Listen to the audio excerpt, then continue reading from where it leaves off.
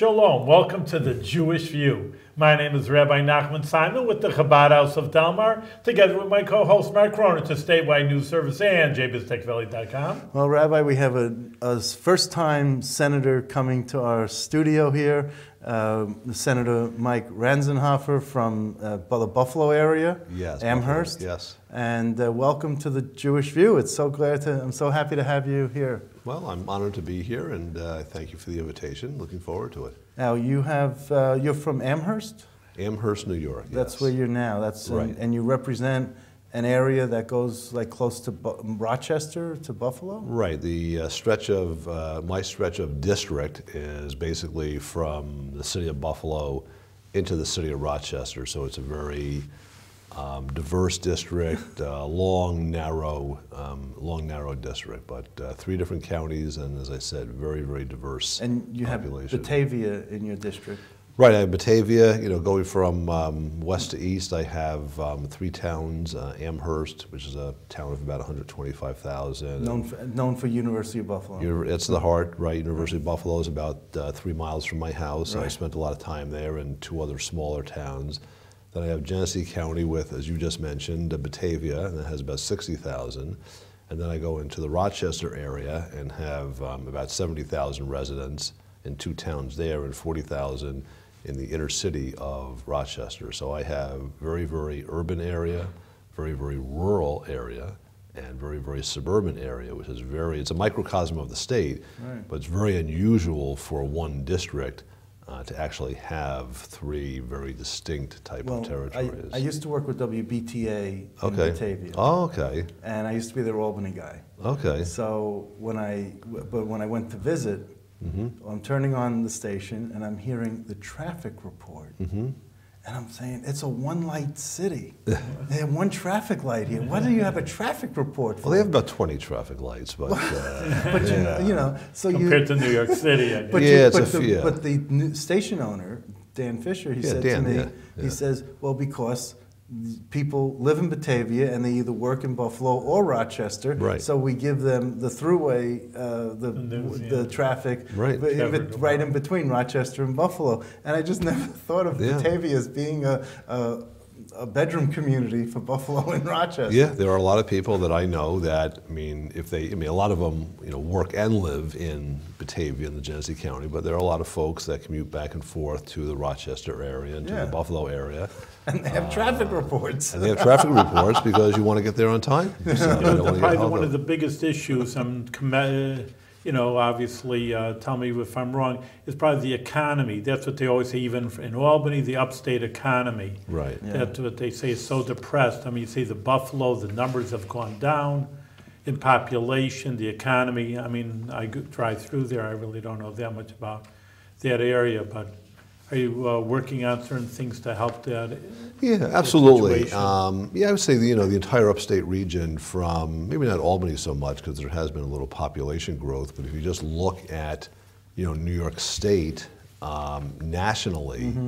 Um, and the power that we've lost in Washington. I mean, I think we went from a high of 49 representatives at one point in uh, in the nation's capital, and now we have like 27. So we're Really like that low? I didn't know that. yeah, so Oh, we're yeah. about you know, a little bit, you know, not quite 50%, but um, you know, one of the things that happened. I mean, if you want to go back historically, if you remember the you know the the 1900 uh, Pan American Games and the exp, you know exp, exhibition, you know, there were about 600,000 people in the city of Buffalo.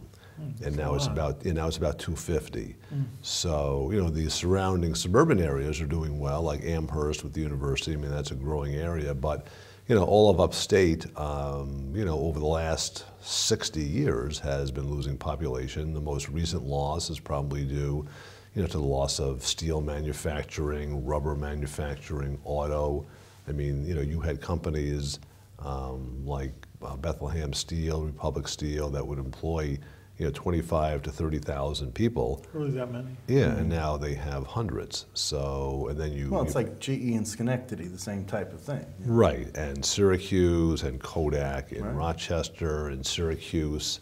Carrier uh, Corporation. Carrier right. Corporation, uh, Westinghouse, um, you know, all of them. I mean, the manufacturing is down or in other areas of the world or the country. And, you know, as a result of that, uh, you know, population has really, really dropped significantly. Yeah, the other thing is that um, in the, in the Senate, you have a, um, well, anyway, getting back about population, New York State just didn't lose population, they're not growing as fast as the other states. And- Right. And just uh, a few years ago, a couple, maybe it was last year, we fell behind Florida, so now we're the fourth most populous state. Right. Behind California, Texas, Florida, and then New York. Right, and most of the, yeah, most of the population growth um, is in the New York City area.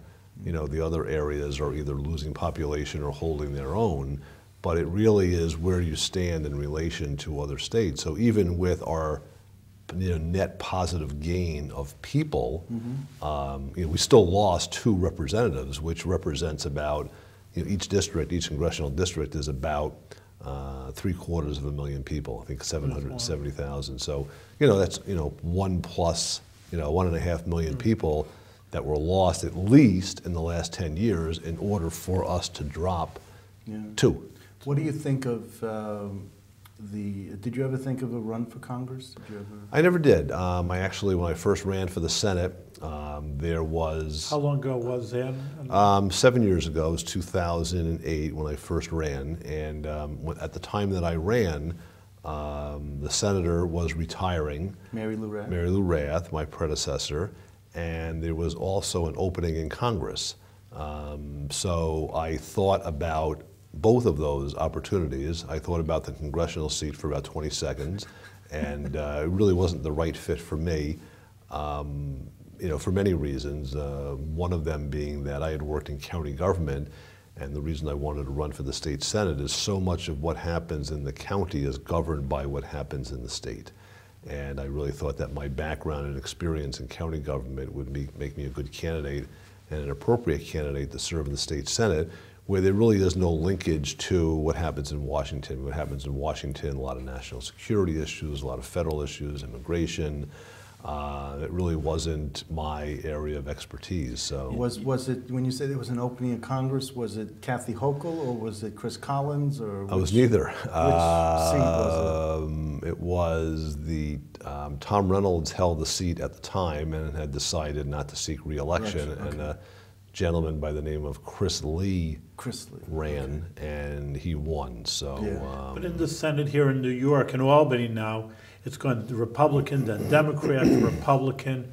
I mean, have you seen that both? I mean, you've been here for a good few years. so Yeah, You've been um, in that. Right. It was very Switch. unusual because, um, you know, before I was here, it had been Republican for about 40 70 years, with, with the exception of maybe two years. So it 65, always, yeah, always been Republican. And, um, you know, I had served in, as a minority representative in the county legislature, so I was enticed to run for the Senate to become a member of the majority. Yeah. And that was the only um, open seat other than Senator Bruno's seat. He was retiring, but the person that was running for his seat, uh, it was really not a contested seat. I mean, it was a very easy race for that individual. So my seat was the only open seat. So it was really the focus of the state uh, was really focused on, my seat. And they said, well, yeah, if you win, you know, you're going to be in the majority. So I win. And then there were two senators from Long Island who got knocked off, so I went to serve in the minority. But the last, um, you know, the last, so my first two years were in the minority, but um, the last four years and then these two years, you know, we've been in the majority, and it's been a you know substantial You- you- difference. You chair the corporations, authorities, and commissions committee. Yes, right. Uh, What's going on with that committee uh, that uh, you should tell us about that's exciting and interesting? Oh, and- well, well, first of all, you know, you mentioned what's exciting and interesting. There are a lot of things that are exciting and interesting to me, but it probably is one of the driest committees, and you know, no one wants to serve on that committee uh, with the enthusiasm that I do. So I'm the chair of that. I love serving on that committee because you really touch a lot of people's lives. Because um, you wouldn't, you'd be surprised, but when you sit down and think about it, you know, we govern what what happens in the not-for-profit community, and for instance. You know, that's over, um, I believe, a million workers in the state, and you know, billions and billions of dollars, whether it be healthcare, in you know, you know, hospitals.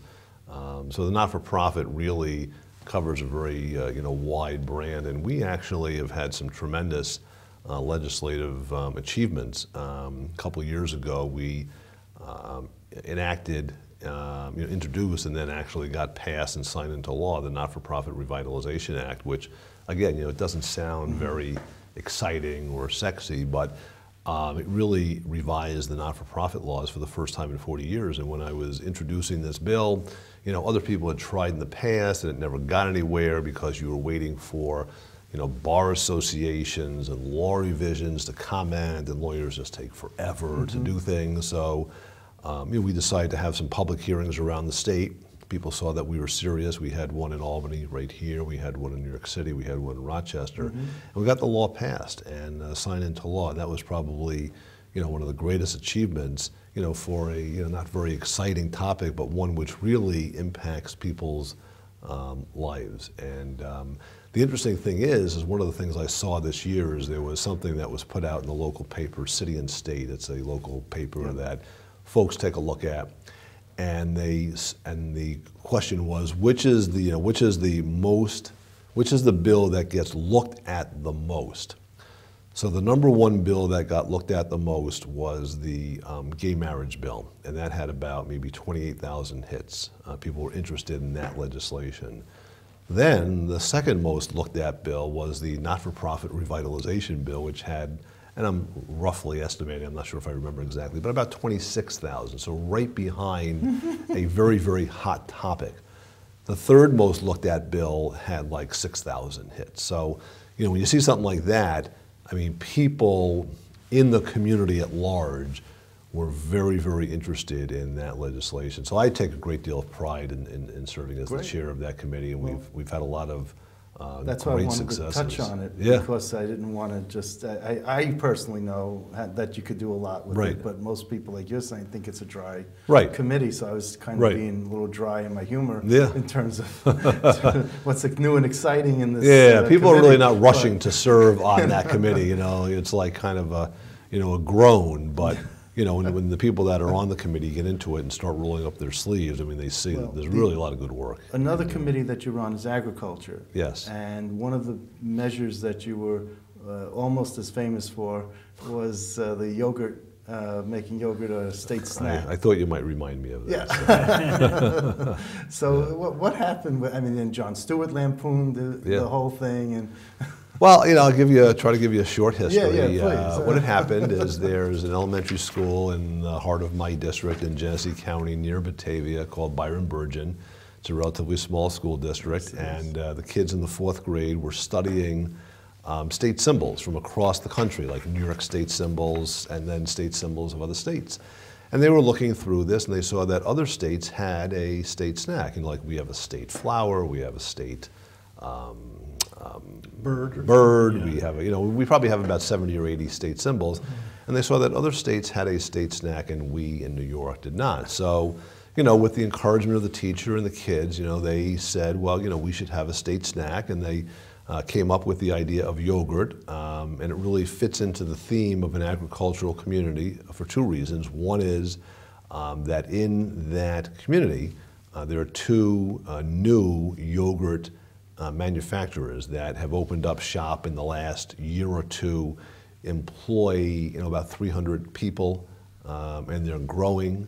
And one of the and one of the products that you need to make yogurt is milk. And Genesee County and the counties around there are one of the largest uh, milk producing. You know, very big in dairy.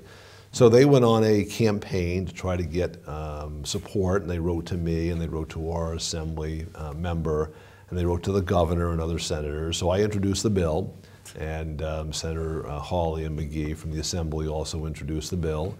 And um, the you know, assembly didn't want to take it up after this. no, they didn't want to take it up after the con- after the big uh, debate.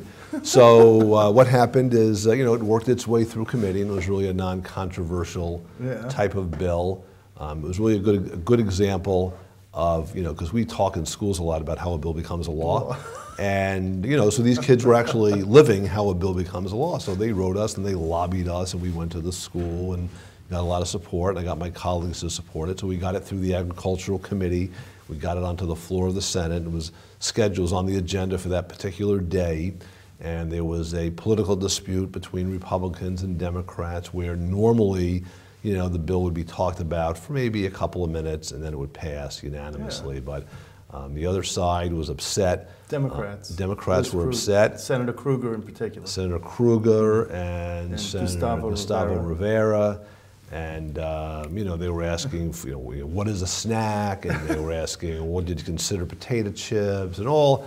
Really, when you look at it, really ridiculous type of questions to try to make a point, not not to do with this bill. So we debated. You know, when you look back, you know, 45 minutes went by, Yeah. and we were debating this bill, which would normally take a minute. Um, and I guess you know people thought, at, you know, after listening to the debate, you know, the questions which I thought were silly and ridiculous, and my answers, which were you know, which were serious answers. Um, you know, it caught uh, David Letterman, Jon and Stewart's Jon Daily Show. And then that's when it went viral, and, and they took clips out of it. Yes. And his ad libbing Yes. on making comments, it was probably one of the most hysterical skits that you'll ever see in Well, your one of the things life. that it says is it raises the issue of lactose intolerance. Yes. Yeah. Well, that was a Liz Kruger question. You know, she had concerns about that. And one of the things that, And you said lactose-free soy yogurt. Yes, I, I actually, um, I, I, like- I like to think that I was pretty knowledgeable and educated on the And funny. subject. And funny, maybe. I'm not could gonna. be I'll, funny. I'll leave that judgment to others, but knowledgeable, I'll, I'll, I'll, I'll take credit for. But it's interesting because my wife, um, at the time, was a vegan. You know, she did not have dairy and meat and stuff like that. So I was very familiar with the fact that they have soy yogurt. So I was able to answer her. I remember Jon Stewart made some comment, like, "How does he know about this?" And he called me the Ken Jennings of, um, you know, of, of, of, of yogurt. Ken Jennings is probably the greatest winner on Jeopardy, like one of the smartest guys in the world. So I took that as a compliment. Yeah. That, uh, you know, it was a compliment. But you know, he was making fun of my name in front of the whole. You know, they did a whole parody on it. It was really, you know, I was kind of. Uh, you know, I, mean, I And was he- on the receiving end of it, but it was really very, very funny. It He said, really basically funny. said, I'm telling you, this may be the best 40 minutes any legislative chamber anywhere Yeah. in the country has ever spent. so, you know, with all the other, I mean, we just went, you know, when, when you see these long debates that go on for hours and hours, and then all of a Right. sudden you see something that you could just roll your eyes and think, Yeah. oh, is this the best thing they could spend their time on? Yeah. You know, the Democrats come up with certain things just to dig you a little every once in a while. Yeah, that was that was their side. point. I mean, it was not a serious debate on their point. I mean, you know. But anyway, you're on the agriculture committee. And I am on the agriculture committee. You served your constituents, and they were all happy. And we had the happiest group of fourth graders in the world That's it. because that's one thing they can never take away with from them when they are my age and when they're parents. I mean, they Right. can tell their they can tell their own kids that. You know, this is what they did in the fourth grade in their little class project. you know, they that made it through. It made it into a bill and became a law. I So- also I wanted to ask you about your. Um, oh, uh, let's see. What other? Com- well, ju- just so everyone knows, I just wanted to sh- share with everyone your uh, your other education committee. You're on the finance committee, judiciary committee, racing, gaming, and wagering, which is it takes under casinos and Right. and, You then chair any transportation. besides that? I No, mean, you just no, says you- one. every member chairs one committee. That's Yeah. all? you Yeah, got? right. The, right. uh, you're one of the, well, Simcha Feld is an anomaly of, of whether he's Democrat, Republican, whatever. Yeah. But you're the only Jewish Republican, I am. I am. okay, Right. right out in the Senate. Right. Steve Saland from the Hudson Valley used to be, used to be the two of you. Well, and we had also, um, um, how quickly we forget. Yes. um, What area?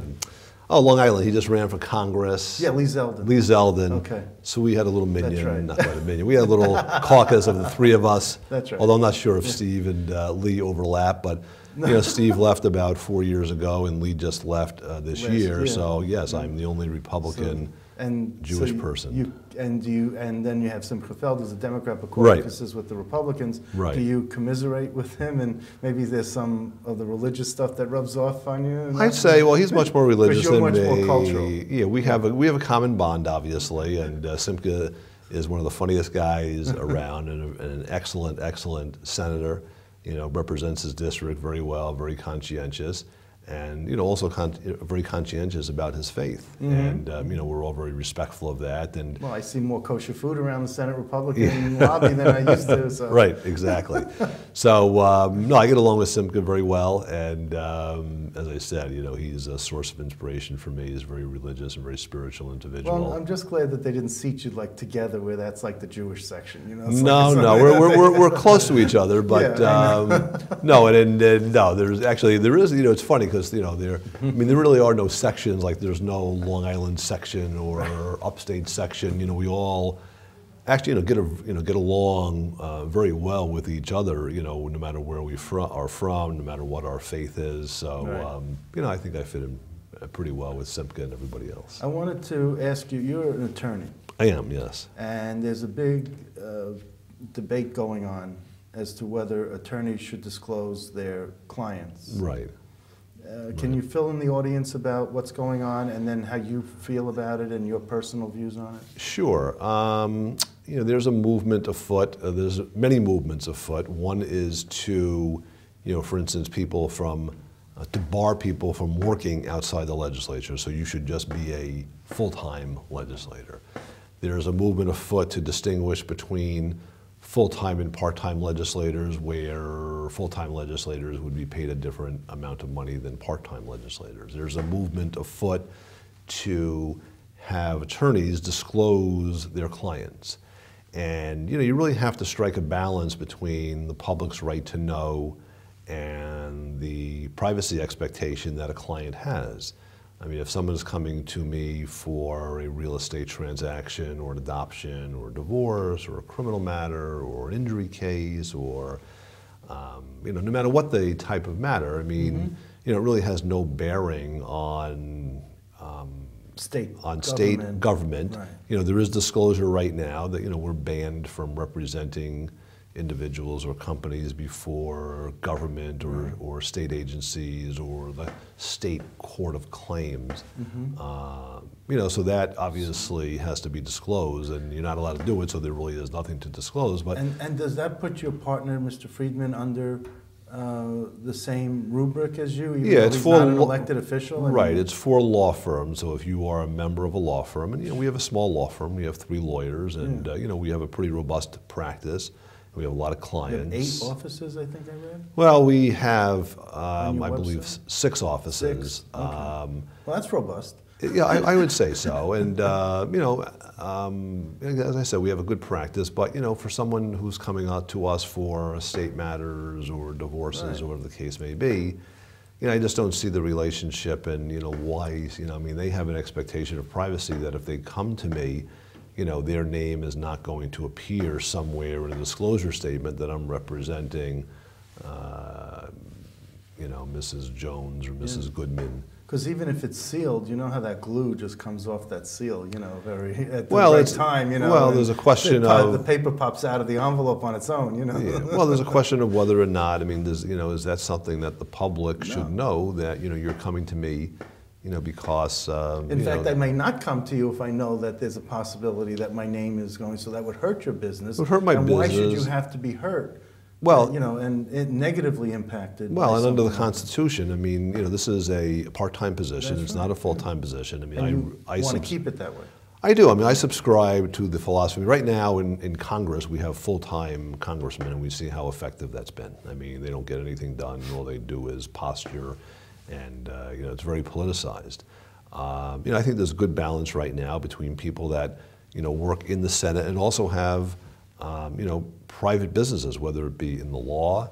Now, law, there are more lawyers than there are, for instance, dentists, because it's just a natural attraction that someone who is a lawyer is going to become a lawmaker. But, you know, we have contractors and chiropractors and real estate uh, individuals. And, you know, to say that someone should not have a foot in the community and, um, you know, an understanding of what it's like to run a business, uh, you know, when you're going to be passing laws that affect business, I mean, I don't subscribe to that philosophy. I subscribe to the philosophy of, philosophy of a citizen legislator that, and it's not that you have to go back and plant the crops. I mean, that's not the theory anymore. But, you know, I think it's healthy to work in the community, or even if you volunteer in the community, I think it's good to get out into the community and see how business works and see how community groups work. So that's why I don't And, do subscribe you to th- that and if there are ethics reforms for the state legislators, do you think they should be the same for the governor and the executive chamber? Well, it, it should, well, not only for the legislature and the executive, but also for the Attorney General's office and the Controller's office and people that work in agencies. I mean, there should be, but it's different types of disclosure. Like, for instance, you know, there are not a lot of um, private, you know, part-time attorneys that would work in agencies or work in the executive chamber because that's a full-time job. But you know, there are other issues with respect to you know people that are appointed to commissions and people that sit on boards and people that are awarded contracts, whether it be for social services or highway paving. You know, what is the connection between them and the governor, uh, or them and the attorney general? Um, which actually people are more interested in than whether or not Mrs. Smith comes to me for a divorce. Um, I mean, there's a lot more, you know, there's a lot more interaction and potential for abuse than there is, you know, by me not disclosing, you know, who's coming in for a will, That's who's right. coming in for And a that's what you do, a lot of estate and wills. Do- We do a lot of estate and wills. You know, we do a lot of representation of individuals and small business. I mean, we don't represent large companies. This is the time for your shameless plug. of what you well. no, I'm not going to. I'm, I'm not going to take advantage of that Okay. now. But, uh, we have a very we have a very broad uh, based clientele. We do a lot of different things. All right. So- Uh, So you're on, like I mentioned earlier, you're on the Racing, Gaming, and Wagering Committee. Right. So with casinos, how did you come down on that? And uh, Tyre is sort of east of your, the, you know, east of your uh, end of the district, eastern end of your district. It's further east. Well, it's out of my district, so it's actually it's it's east of my district. That's what I'm saying. Right. That's what I'm trying to say. right. Exactly. I knew what you were talking about. So. And I'm just wondering, you know, still it'll have an impact on the eastern end of your district. Right. So how do you feel about gambling and casinos? Yeah, well, my feeling was, and I've dealt with this issue, um, you know, before, Yeah. is, you know, personally, I'm opposed to it. Okay, I don't really think it helps communities. I think it really hurts, especially poor people. And you don't go up to Niagara Falls and Um, I've been there. sneak away. I've been there once or twice, uh, you know, and you know, to see a show, see, yeah. and you know, um, but you no roulette or anything. I might no never roulette, but my big you know my big gambling night would be to take out a twenty dollar bill Yeah. and do like the one armed bandit for about a half an hour until I get bored. That's about me. Yeah, That's yeah. about and maybe I'll end up with fourteen dollars. So I consider it, I consider it my Yay. my entertainment. Yeah, but um, you know I have a um, uh, a racetrack and a casino in my district in Batavia. Batavia Downs very important to Oh, me. yeah. So I thought it was important to serve on that committee. But back to your point, you know I'm not in favor of it, but I am a big um, fan of initiative and referendum to give voters uh, the choice of what they want. So. That was actually put on the ballot, and you know the electorate decided whether or not there should be casino gaming in New York State, and the voters approved that. Mm-hmm. Right. So I believe in giving them a choice, even though my personal view is I don't like it, I'm not in favor of it.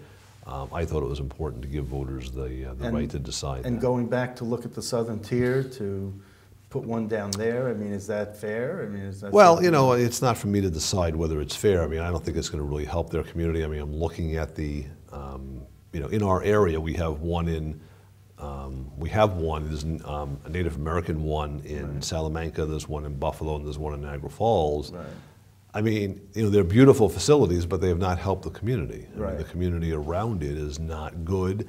And then you look at other areas like Atlantic City, and you know, there are a lot of people getting out of the business because it really is not good. So, um, you know, the Southern Tier, uh, you know, would like one. You know, I believe in, um, you know, in communities being able to decide, you know, their future. Mm-hmm. Um, so I don't think it's necessarily good for them, but it's not for me to decide. If they feel it's good for them, it's kind of like manifest destiny. If they feel that this is Right. good for them and their destiny at the end of the day, then uh, It is what know, it is, huh? I- yeah, you know, I, you know, I would, you know, I would encourage the gaming association to, you know, consider their request and take a look at it. Okay, so we, uh, just in the last few minutes that we have, you were given the Guardian of Small Business Award and several other Business Advocate of the Year Right. Award and stuff. I mean, how much of a, you know, so you're prominent businessman, everyone likes what you, philosophy, your philosophy on business? I don't think I was given it for being a prominent businessman. I think I was given it for, um, you know, being, uh, in terms of my legislative voting record, you know, supporting small business and, um, you know, the issues that they have to deal with. And I think a lot of that is based on the fact that I am a small businessman and can identify with their problems. So we're, we're talking about cutting energy taxes or dealing with the minimum wage or the regulatory climate. I mean, my voting record is, is, is favored by the small business community because I'm, I'm voting uh, on bills that they favor and against bills that they don't like. So the NFIB, National Federation of Independent Business, um, you know, pres- actually, this is the second time I won the award. Well, now you got to get the Business Council Uh, Award. And we'll go, we're running out of time. so- Yeah. We're running out of time. Senator, it's very good. You're uh, doing good work for the, the people of New York and upstate New York and a pride to the Jewish people. And we thank you very much and wish you the best success with good health. Well, All thank you very much. It was great to be Thank here. you. Thank you for, for inviting me.